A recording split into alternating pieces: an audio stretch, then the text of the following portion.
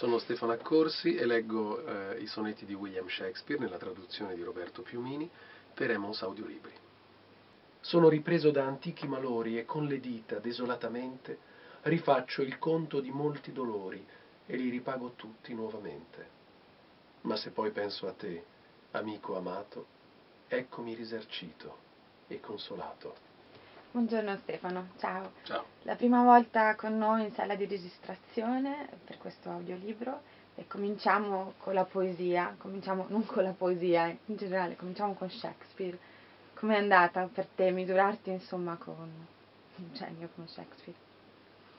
Beh, se uno, se, uno, se uno la mette così, se uno pensa di misurarsi con un genio, è chiaro che è anche abbastanza demotivante, cioè è bellissimo da un lato e demotivante da un altro, però la cosa bella della scrittura di Shakespeare è che, è che resta molto molto semplice, che ha anche la difficoltà secondo me nel renderla in lettura, perché bisogna cercare di non essere enfatici, perché è una poesia che non regge il poetico, fra virgolette, e allo stesso tempo eh, cercare di non essere troppo eh, quotidiani.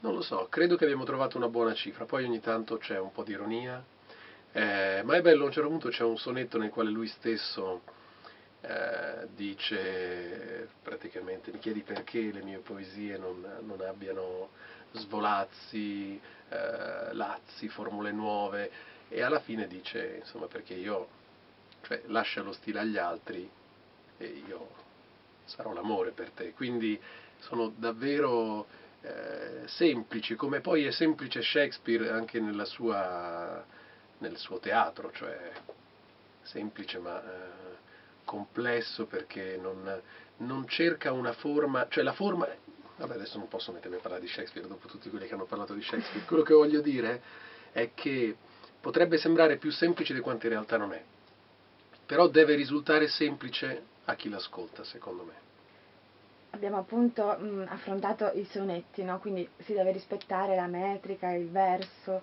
che per un attore contemporaneo è una cosa insolita ovviamente. Più divertente, più difficile questo?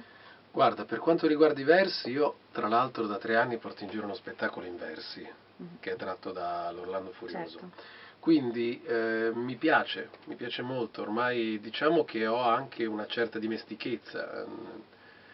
E quindi non ho paura del verso, anzi anche nello spettacolo cerchiamo sempre di non fare la rima baciata, di non fare eh, sentire tutte queste cose che risultano poi anche noiose e diventano una musica all'orecchio che toglie il senso. Quindi cerchiamo sempre di andare sul senso ed è quello che abbiamo fatto anche qui leggendo i sonetti, cioè rispettare la metrica ma andando sul senso più che sulla musica. Perché tra l'altro poi è un audiolibro intero di sonetti, il rischio è quello che poi diventa tutta una musica uguale, e che poi dopo uno si addormenta alla guida e non bisogna. Vanti, chi dalle stelle è favorito, la sua celebrità e i larghi onori. Io, cui fortuna non ha consentito, gioisco in chi gode i miei favori.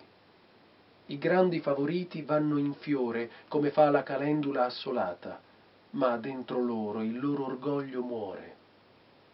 Ad un cipiglio la gloria è passata e il guerriero di gloriose gesta, se dopo mille vittorie è battuto, per sempre privo dell'onore resta e tutto quel che ha fatto va perduto. Felice me, che amo e sono amato da chi non può lasciarmi o essere lasciato.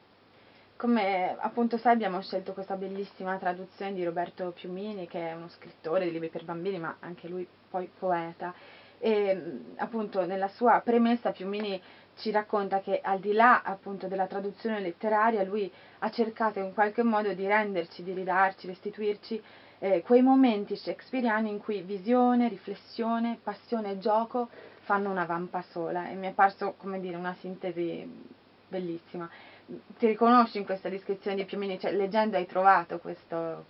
Sì, assolutamente. Intanto è molto... Eh, credo che questa traduzione faciliti l'interpretazione, perché è costruito in un modo molto semplice, cioè la prima volta che si leggono i sonetti sembrano complessi perché ci sono molti incisi, molti... però nel momento in cui se ne coglie la logica, eh, la logica di scrittura metrica ma anche emotiva, secondo me questa traduzione semplifica comunque la, la lettura per l'attore, la rende più, più vicina a, a qualcosa di detto che non a qualcosa di letto. Ormai parlo solo in rima. Grazie. Prego.